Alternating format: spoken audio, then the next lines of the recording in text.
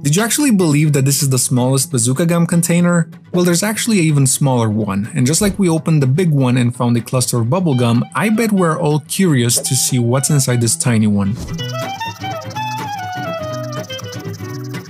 Alright, moment of truth.